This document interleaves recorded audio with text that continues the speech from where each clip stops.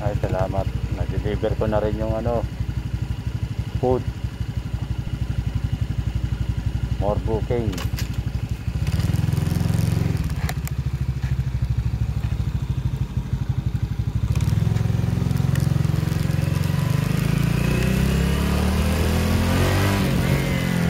Malabas na ako ng gasolina. Diesel.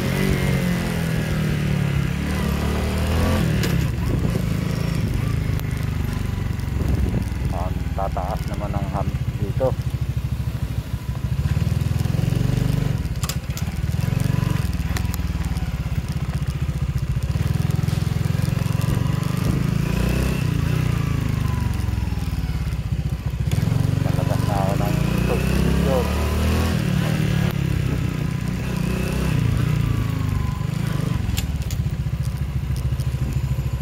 Sir, thank you.